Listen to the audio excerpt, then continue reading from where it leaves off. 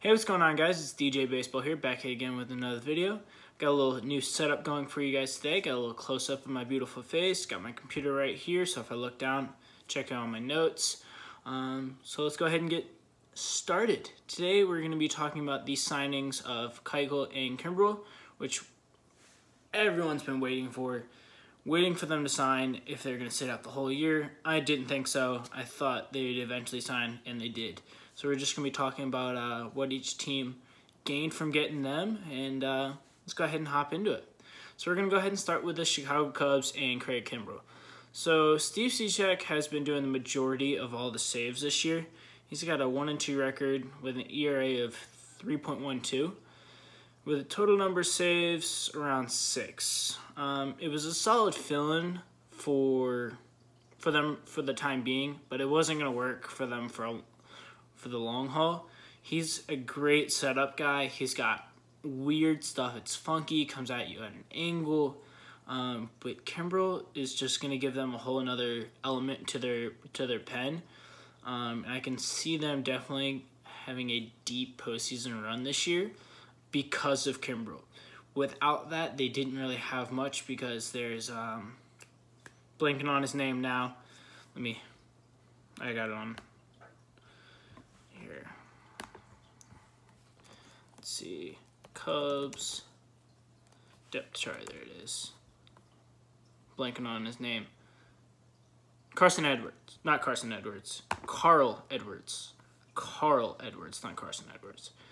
Carl Edwards, he's filthy, but with his new little, you know, he got he, that little toe tap thing that the Cubs and the Nats had to deal with. Um, he hasn't been the same. His relieve, like he's just hasn't been the same.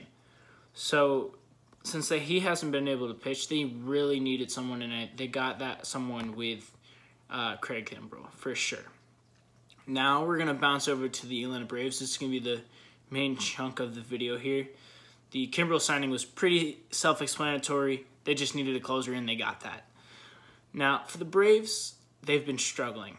Ex not struggling as a team, but struggling with their starting pitching. They got Mike Foltynewicz. I can't say his name. Folty, you know Folty. Um, he's only one at five this year, and he was an all-star last year. He was absolutely filthy for them. He's been struggling really bad. He's got an ERA of 5.89 with only 37 strikeouts and a whip of 1.26. He's not the same as last year. He came started this year a little bit late with that little elbow thing he had going on, but he hasn't been the same pitcher at all. Julio Teheran has definitely improved since last year. Excuse me. He's been struggling um, he's he's been struggling in the most recent years, but this year he's got a 3.28 ERA with 69 strikeouts and a whip of 1.26. So that's definitely big for them that he's pitching better. Max Fried, 7 and 3 with a 3.68 and 59 strikeouts and a whip of 1.3. Definitely solid. You know, those middle reliever guys, him and Teheran, you know, 3 and 4, whatever you want to call them. Um, they've been they've been solid. They've been solid for him, but not they don't have they didn't have that ace they were looking for. Uh, Kevin Gausman has been absolutely terrible this year, with a two and five record with six point one five ERA, sixty strikeouts, and a WHIP of one point four seven. Absolutely terrible, terrible. Their one bright spot this year for their uh, starting rotation was Mike Soroka.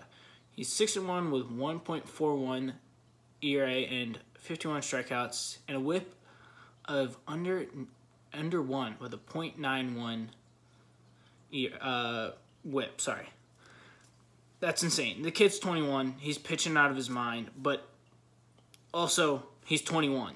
He's gonna he's gonna something's gonna happen. He's gonna get hit around one time. He's gonna start understanding. People are gonna figure him out they needed that ace. He wasn't the ace, maybe a nice solid two, and then in the future, definitely an ace, but they needed something, and that's where Keuchel comes in. It gives them such a huge boost. Two things are gonna go to are gonna happen. Uh, one of the one of these two things are gonna happen to their to their rotation. Either one of them, I'm guessing Kevin Gausman is either gonna get sent down or get put in the bullpen. I think he's gonna get put put in the bullpen and then they're gonna send someone down from there or whatever.